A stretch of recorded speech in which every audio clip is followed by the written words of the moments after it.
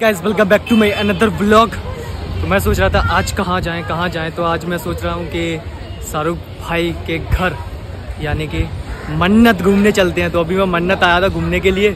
और ये देख लो, मन्नत के यहाँ पे हर टाइम भीड़ इतनी लगी रहती है, जितनी एक नॉर्मल क्रिएटर के यहाँ पे भीड़ लगी रहती है। ये देख सकते हो।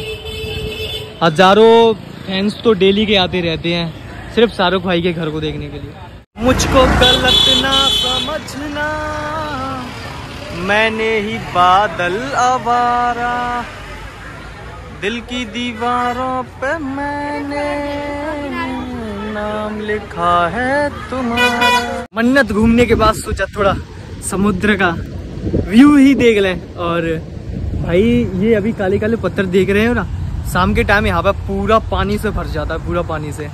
अभी पानी से नहीं भरा है ना तो कोई दिक्कत ही नहीं है। ये देखो दूर दूर तक पानी नहीं है, काफ़ी लोग आए हुए हैं, सेल्फी खिंचाने के लिए, सेल्फी लेने के लिए। आओ, सेल्फी पॉइंट पे जाओ।